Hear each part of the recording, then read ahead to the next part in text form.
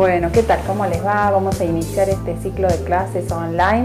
Este, bueno, vamos a ver qué pasa, espero que les resulte eh, fácil de ver y de poder hacer. Eh, vamos a trabajar un poquito en general, yo voy a ir haciendo eh, todo en el tiempo real. si cortamos en algún momento es para poder tomar una imagen un poco más de cerca y ustedes la puedan apreciar mejor. Este, así que bueno, vamos a trabajar acá en el taller. Yo soy Gabriela Piatti, estoy en Pinamar y bueno, espero que les guste mis clases. Bueno, la clase que, les traje hoy para hacer es algo que está muy de moda, vamos a trabajar collage, ¿sí? Miren, en este caso es una pluma que hoy se usa muchísimo, eh, y bueno, para las que todavía no están muy cancheras con el tema de la pintura, vamos a trabajar una técnica de collage. Eh, el collage es, eh, vamos a trabajar el pegado de una fotocopia color y luego la vamos a intervenir con pintura. Eh, la gracia del trabajo, ¿cuál es? Es tratar de hacer ver que no se note que está pegada la fotocopia abajo, que en realidad la fotocopia nos va a, seguir, a servir de guía porque nosotros vamos a intervenir con mucha pintura la fotocopia. Así que bueno, yo aproveché en este caso un bastidor que tenía para reciclar porque como nosotros vamos a pegar papel y vamos a trabajar con un poco de textura, es una buena idea si yo quiero reciclar algún trabajo que ya no me gusta o que me parece que lo puedo mejorar y demás. Así que bueno, si les parece, vamos a dejarla esta hecha ahí para que ustedes la vean de fondo y yo ya tengo acá preparado un bastidorcito de madera que también recicle con una base de acrílico blanco Puede ser madera o puede ser tela, ¿eh? no hay ningún problema. Eh, y traje una fotocopia, esta es una fotocopia color de tamaño eh, A3, ¿sí? pueden hacerla también en blanco y negro, pero bueno, si ya tiene un poquito de color, mejor. Así que bueno, lo que vamos a hacer, lo primero que vamos a hacer es corroborar de que el tamaño de la fotocopia sea acorde con la base que nosotros eh, tenemos. En este caso ocupa bastante la superficie, fíjense. De cualquier forma la vamos a cortar. Bueno, acá tienen que eh, la hoja es bastante similar al tamaño de la superficie en la que vamos a trabajar, pero nosotros ahora la vamos a cortar. ¿Qué vamos a hacer? Para que los bordes estos de la hoja no sean tan rígidos y tan rectos, lo que vamos a empezar a hacer es a cortar con la mano, ¿sí? Los bordecitos. Le vamos a dar una forma bastante irregular. Lo, importante es que no nos queden bordes rectos. Fíjense cómo voy cortando. Una cosa importante para cortar y rasgar el papel es que no lo hagan de esta manera, sino que lo hagan desde la copia, desde la imagen hacia abajo. ¿Sí? Así. Entonces queda mejor. Yo lo voy a hacer acá Seguimos cortando el papel, les cuento que este es papel de fotocopia común, lo pueden hacer en cualquier fotocopiadora. Distinto va a ser en el caso que hagamos fotomontajes de láminas grandes, que lo vamos a hacer en otra clase, eh, donde vamos a trabajar con otros elementos y el papel, al ser más grande y lo tenemos que mandar a hacer a gráficas, es otro tipo de papel. Pero en este caso es con una fotocopia. Bueno, ahí está, fíjense. Yo recorté, sacar este pedacito. Y ahora lo que vamos a hacer es el pegado, En este caso, como es un papel chico, como les decía, que es máximo A3, eh, la hoja, eh, lo vamos a pegar con, eh, podemos utilizar, hay varias formas, porque el tema del pegado es bastante tabú en este tema por las arrugas o los globos que se pueden llegar a hacer podemos utilizar el pegamento multipropósito o también en este caso les voy a mostrar que podemos utilizar y está muy bueno este pegamento que es un, el adhesivo para pegar eh, los empapelados. Fíjense es como, eh, como si fuera un, gel entonces vamos a utilizar en este caso este pegamento. Vamos a tomar una pinceleta viejita. Yo uso mucho los pinceles así desgastados y viejitos, la verdad me gustan mucho me dan muy buen resultado. Obviamente que tengo pinceles nuevos para otro tipo de trabajo, pero este, estos me vienen muy bien.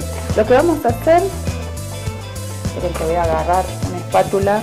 Vamos a trabajar también con una espátula eh, de estas de goma pueden también ayudarse con las tarjetas de, los jueguitos o tarjetas este, de plástico. Esas en desuso pueden usarlas tranquilamente. Lo que vamos a hacer es, yo recomiendo que ustedes fijen primero una parte, vamos a poner bastante pegamento. Ahora después vamos a hacer un zoom para que ustedes vean bien eh, cómo queda. Vamos a presionar del medio hacia afuera. Si tienen un trapito o una servilletita de papel, bien hasta los bordes. ¿sí? Después vamos a sacar esto que yo puse acá para que pese y vamos a hacer la otra parte de la misma manera. Ahora estoy poniendo en la madera. Es importante que se pasen de la figura, o sea que quede por fuera el pegamento, porque total es transparente y de esta forma nos aseguramos que los bordes queden bien sujetos. Ahora hacemos la otra parte, vamos a pasar la servilleta, pueden hacerlo con un trapo también. Acá me quedo sin pasar. Vienen los bordes Y ahora vamos a hacer un poquito de presión y sacar el excedente con la espátula esta plástica. no tienen que insistir mucho, eso es muy importante. No insistan demasiado. Hacen unas pasadas para sacar el excedente y asegurar el pegado y ya está. Si lo tocan mucho, lo que van a lograr es que la lámina se eh, o se hagan grietas que después son muy difíciles de sacar. Si se llegan a hacer globos, si se llega a levantar, como por ejemplo pasa acá, lo único que tenemos que hacer es dejarlo secar solo. ¿Por qué? Porque el papel solamente cuando se va secando se va a volver a tensar. Entonces este, no hay que tocarlo demasiado. En las láminas grandes es un poquito más difícil, en las láminas chicas como estas no da tanto trabajo. Lo que vamos a hacer es pasar un poquito con lo que me quedó el excedente, el resto de pegamento que me quedó en la pinceleta, voy a pasar un poquito más que nada en los bordes y por arriba de la imagen. Bien, lo que tengo que hacer yo en este momento es dejarlo secar. Así que vamos a cortar un poquito, voy a preparar este, el paso que sigue mientras se seca un poquito el trabajo. Bueno, todavía no está seco del todo, pero les quiero mostrar cómo vamos a empezar. Con acrílico blanco y la misma pinceleta que estaba usando, voy a empezar a pintar de vuelta el fondo, que yo le había dado una sola mano para cubrir lo que tenía, porque es un bastidor reciclado. Voy a empezar a pintar el fondo con blanco y sobre el, el papel. Me voy a meter un poquito en la pluma porque yo total después la voy a pintar, entonces no me interesa que la pintura vaya un poquito encima de la pluma. Y de esta manera también empiezo a intervenir la imagen. Ahora les voy a mostrar de cerquita cómo queda, cómo yo me meto encima. Fíjense que se empezaron a hacer algunos globitos en la lámina, no lo toco, no lo toco, lo dejo que seque solo. Acá yo podría trabajar también con textura, pero en este caso yo no usé demasiada textura, simplemente fui camuflando el papel con, la misma, con el mismo acrílico y los efectos de pintura que voy a ir haciendo de ahora en más. Entonces me meto un poquito en la lámina, me meto y voy de esa manera camuflando muy bien el corte. Todavía se nota, pero porque todavía tenemos para pintar. Esta lámina tenía como un fondo un poquito celeste, muy poquito, y entonces yo lo que estoy haciendo ahora es tratar de eh, quitar ese celeste, ¿no? Entonces por eso me estoy metiendo con el blanco un poquito más. Si fuera necesario pueden trabajar también con yeso, le dan un poquito de yeso, el yeso es una textura muy finita, entonces podemos de esa manera eh, trabajar un poco los bordes, pero van a ver que ya vamos a encontrar más adelante o mediante el estarcido, que es el salpicado, o con un esponjado muy suave, podemos encontrar la forma de camuflar. Como les decía, eh, después con diferentes técnicas de pintura vamos a hacer que el papel no se note. Ahora es el momento, como está, de dejar secar el acrílico que puse recién, ¿sí? y voy a preparar los colores para empezar a trabajar eh, la pintura sobre la pluma. ¿eh? Así que cortamos un poquito, así preparo los colores y seguimos. Bueno, acá ya lo tenemos seco, nuestro trabajo, pegada la lámina perfectamente. Les quiero contar que ustedes pueden hacer en tamaños más grandes, incluso las láminas se pueden unir con dos fotocopias y la verdad que no se nota nada después. Y si no, lo que les comenté al principio, de tratar de hacer impresiones a grandes escalas en alguna gráfica. Em, vamos a empezar a pintar un poquito la pluma. Eh, ¿qué vamos? Yo puse acá en la bandejita, fíjense, una gama de colores muy similar a la que tenemos en la pluma original. la gama de los eh, rosas, carminalizarín, magenta y algunos negros, eh, por ejemplo, este es negro, gris de paint, borgoña para hacer las profundidades. Siempre ustedes cuando trabajan un objeto tienen que tener las diferentes gamas, ¿no? los colores que les van a dar las luces, eh, las claridades, el acroma, el color en sí, que en este caso es la gama de los rojas, rojos, magentas, eh, y las oscuridades. ¿sí? Si estamos trabajando con colores rojos, las oscuridades van a estar buenas que sean en un tierra de siena tostado, en un borgoña. ¿sí?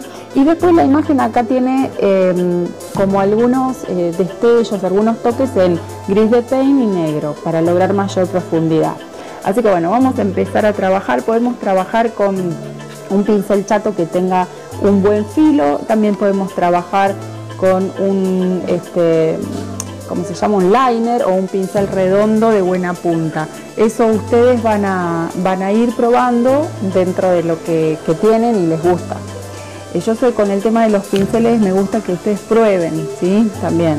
Así que bueno, vamos a empezar eh, no, tan, no con tanto detalle, con un pincel redondo. Vamos a empezar a trabajar las sombras con gris de paint y lo que voy a hacer es ir reforzando lo mismo que yo veo en la fotocopia. Ahora vamos a ir haciendo después un zoom. No trabajo con demasiada cantidad de agua cuando trabajo eh, sobre el papel, ¿sí? Trabajo más vale lo que sería un pincel seco. Voy a ir acentuando. Esta fotocopia realmente eh, salió bastante, bastante lindo los colores, no se distorsionó mucho. Lo que les quiero contar es que nosotros, fíjense cómo estoy pintando, ¿no? Eh, no hago el trazo de la pluma de principio a fin, porque para que esto tenga un volumen, lo que voy a crear son sombras en la parte cercana a lo que es la nervadura de la pluma, con gris de paint y negro en este caso, un poquito de lugar acá. Acá el papelito. Y entonces voy a ir intensificando. ¿sí? Lo que ya tengo voy a ir creando, pero ya les digo, el asunto es no hacer una línea de principio a fin, sino hacer entrecortadas donde, a ver si se ve ahí, entrecortadas, agarré blanco sin querer, ahí vamos, ahí está. Hay sectores en donde no, donde no se aprecia una línea, sino que se aprecia un sector de mayor iluminación. Vamos con un pincel eh, liner. Si no tienen liner o no, o no les gusta trabajar con el liner, tranquilamente lo pueden hacer con un pincel redondo. Fíjense cómo ahí voy trabajando para que ustedes lo puedan ver un poquito mejor las plumas del borde.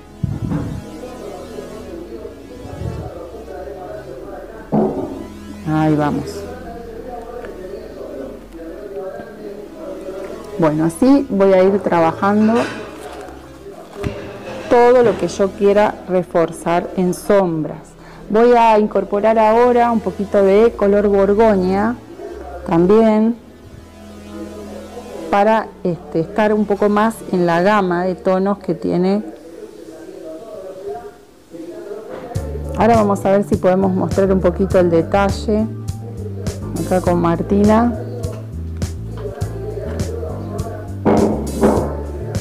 Para que, que lo puedan apreciar.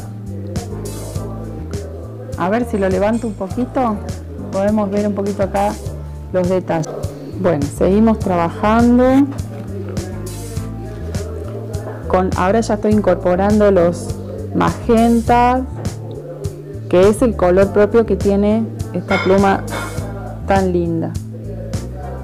estoy trabajando más las zonas que eh, en la fotocopia que quizás no salieron tan nítidas o que yo borroné un poco cuando pasé el blanco. Les quiero mostrar que también podemos trabajar con un pincel de cerda china de estos que están así abiertos, donde yo no quiero dar demasiada definición, por ejemplo, en estos bordes. Yo quiero que se salgan como pelitos, pero no demasiado definidos. Fíjense qué lindo el efecto que hace este pincel en la parte de los bordes. ¿sí? Es como un efecto irregular acá también los voy a hacer, entonces me deja como una terminación no tan rígida como si yo usara un pincel liner, ¿sí? Voy a trabajar un poco eso, lo puedo hacer por supuesto con cualquiera de los colores que, me toque, pero me da un, aspecto más de zona de sombra, pero no de tanta definición. Voy a hacerlo para que vean un poquito acá con, con los rojos y los magentas. acá, en las zonas donde la, fotocopia quedó tenue. Bueno, así ustedes tienen que ir trabajando toda la imagen eh, según la fotocopia como ustedes les haya eh, quedado, más, más nítida o menos. Ahora lo que les quiero mostrar es como trabajamos la parte de las sombras, vamos a trabajar también la parte de las luces. Sin limpiar el pincel de cera china, solamente lo voy a limpiar pero sin mojarlo, eso es lo que quería decirles. Voy a tocar con los colores más claros que yo tengo, en este caso va a ser un rosa intenso y le voy a incorporar un poquitito de blanco al rosa intenso. Voy a hacer la técnica de pincel seco, así que lo que voy a hacer es gastar un poco el pincel, preparo el color, cargo el pincel y después descargo en la servilleta. Y lo que voy a hacer son luces. Voy probando, por supuesto, porque quizás armo un color que no me da la intensidad suficiente de la luz que yo necesito. Entonces voy a ir probando. Las luces van a ir en la zona media de la pluma para dar volumen. Es un trabajo muy lindo, muy delicado. Hay que ir observando la imagen que nosotros tenemos eh, para ir dándole, eh, intensificándola más en las zonas que nos interesa.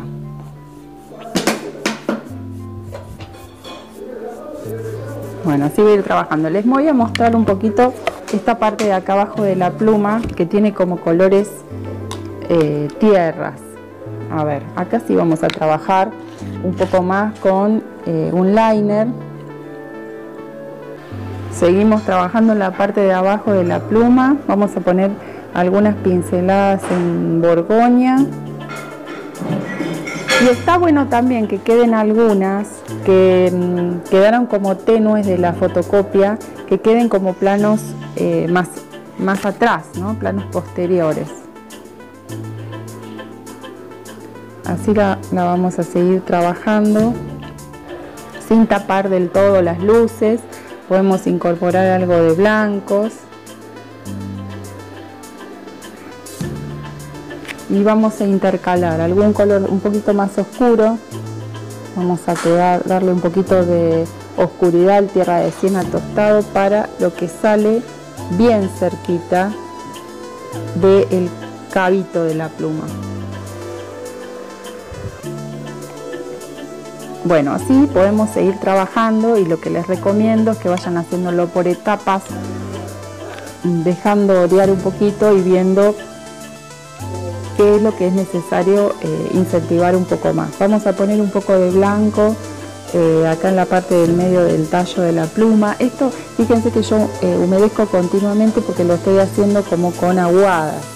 como para que después la pintura se integre al trabajo.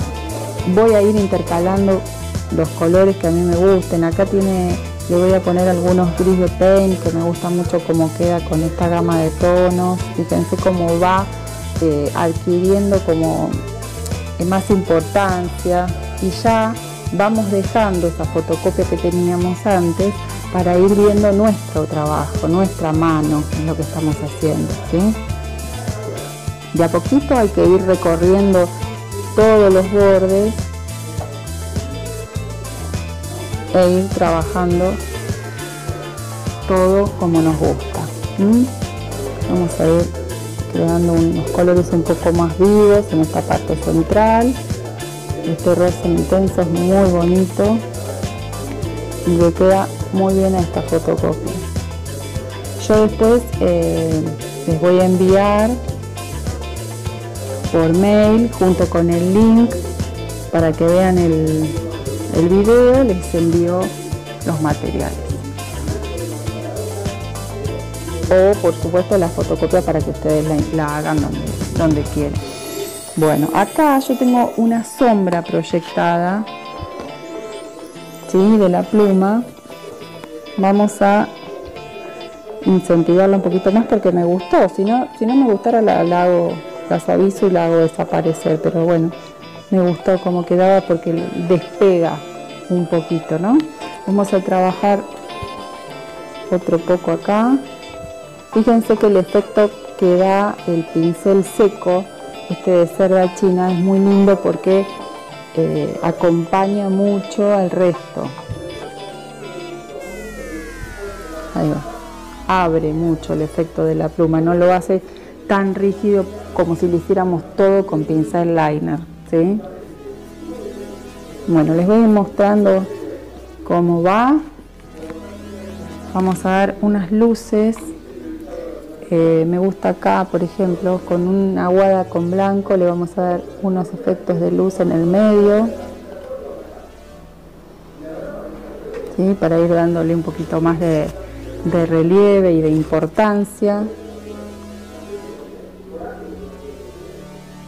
Ahí vamos. Bueno, y ahí este, yo lo que haría es dejar secar un poco y ver qué pasa, ¿sí? Porque muchas veces los colores que ponemos se suelen eh, opacar un poco o apagar. Entonces la vamos a dejar descansar un poquito, a ver qué pasa, a ver qué hay que retocar y vamos a seguir eh, con el paso siguiente, que es trabajar un poquito más el fondo para ir eh, para seguir camuflando un poco la fotocopia. Voy a seguir eh, trabajando la unión de la fotocopia y lo que voy a hacer es con blanco y me quedó sucio un poquito con apenas rosadito. Voy a hacer como un ponceado con bastante cantidad, con bastante carga de pintura en la zona de si se nota un poco la fotocopia y lo voy como perdiendo fíjense ven que se va notando como el rosa entonces voy tonalizando un poquito el fondo con los mismos colores de la pluma y aprovecho en los lugares donde quizá todavía al secarse el blanco se ve un poquito el eh, corte de la fotocopia. Pero ya les digo, también es interesante poner un poquito de yeso que tiene un poquito más de, textura, si les da trabajo. De esta misma manera pueden trabajar el yeso, ¿eh? haciendo como un ponceado incorporándole incluso algo de color, fíjense qué lindo que va, que va quedando al fondo para de esta forma ir perdiendo el tema de eh, la fotocopia. Yo voy a ir aprovechando a incorporar los rosas junto con los blancos, voy a colocar un poquito más de, pintura blanca, de acrílico blanco, ¿sí? y lo ensucio solamente, el pincel ya lo tenía un poco sucio de rosa, como para eh, dar un efecto. En este caso también voy a, trabajar un poquito en las esquinas, muy suave. En realidad lo uso, eh, este efecto lo uso para eh, tapar la unión de la fotocopia que no se va a ver nada de nada al final. Así voy trabajando todos los bordes, creando un efecto. Por supuesto que ustedes pueden usar el efecto que más les guste. Y esto mismo que yo estoy haciendo en lugar de hacerlo con pincel seco también lo pueden hacer con aguadas que ya vamos a ver en otro en otro en otra clase. Así que bueno ahí voy camuflando un poco todo. Esto es lo mismo es repetido todo el borde.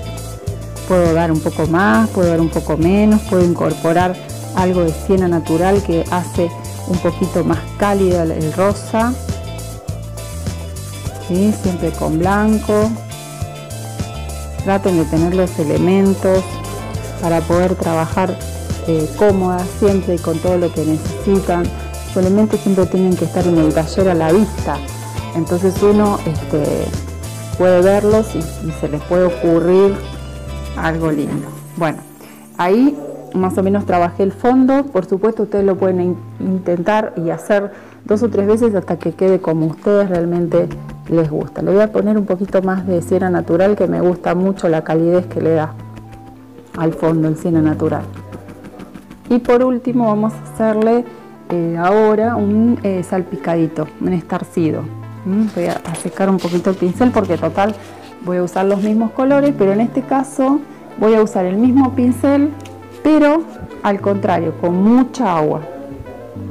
Voy a usar eh, voy a elegir el gris de paint para hacer un poquito de, de estarcido. Voy a, preparar la pintura bien aguada y lo que voy a hacer con un pincelito es salpicar.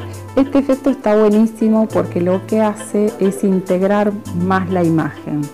Nos integra mucho eh, la imagen de la pintura, de la pluma, de la fotocopia con el fondo y ayuda a ese efecto de que no se note que es una imagen pegada. Voy a mm, esperar un poquito ahora para hacer las descripciones para que no se corran eh, las salpicaduras. Obviamente puedo usar si ustedes quieren eh, secador de pelo y, hacen incluso aceleran un poquito el secado. Después lo que yo hice con las inscripciones eh, fue directamente con el pincel liner, ¿sí? y en este caso vamos a hacerlo con acrílico negro, vamos a ponerlo en el sentido que corresponde. A ver, espero que lo estén viendo bien. Ustedes lo que pueden hacer si no se animan a escribir directamente es transferirlo. Este, o hacerlo primero con un lápiz que incluso pueden hasta borrar y volver a escribir. Este, y si no, bueno, directamente con el, el liner. En este caso la descripción dice inhale y exhale. Me encantó. Acuérdense que el pincel liner hay que usar la pintura punto tinta, tienen que cargar bien toda la cerda del pincel. A ver qué pasa. Vamos a hacer acá la I. A ver cómo viene. Venimos Es una letra como estirada. Ahí vamos. Vamos a cargar un poquito más el pincel. Finale. Lo pueden hacer con un stencil también. Lo que pasa que quedaba muy rígida la letra con un stencil. Yo quería que sea algo más liviano. Y vamos acá con el exhale. La verdad que si se animan es mejor que lo hagan sin, sin escribir previamente, porque a veces eh, después es más difícil seguir eh, lo que ustedes escribieron con el pincel que hacerlo directamente. Total, es una letra manuscrita suelta.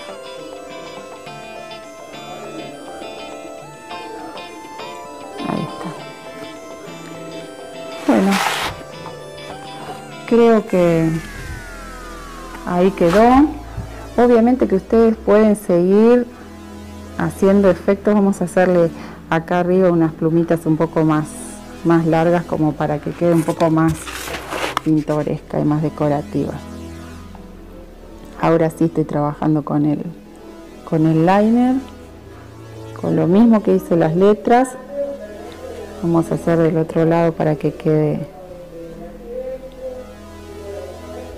Ahí va. Y bueno, ya estamos terminando el proyecto. Espero que les haya gustado, que lo hagan. Se puede hacer con cualquier imagen, por supuesto.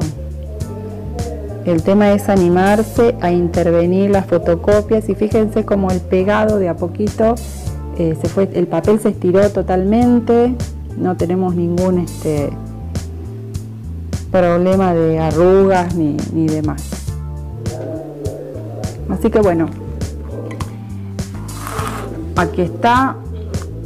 Espero que, les haya gustado, espero que apliquen las técnicas. Recuerden que lo importante de las clases eh, muchas veces es no hacer lo mismo exactamente, que obviamente que lo pueden hacer con toda libertad, pero eh, es las técnicas, ¿no? Copiar las técnicas y tratar de aplicarlo eh, poniendo tu creatividad, tus fotocopias y el estilo que, más te guste. Así que bueno, espero que les haya gustado la clase, espero, espero que me manden preguntas, interactúen y me manden los trabajos terminados y por supuesto que vamos a hacer eh, una devolución vía, vía Facebook o por donde quieran comunicarse este, para ver cómo quedó el trabajo y, con, se saquen las dudas. Eh, nos vemos en una próxima clase y bueno, las invito a pintar.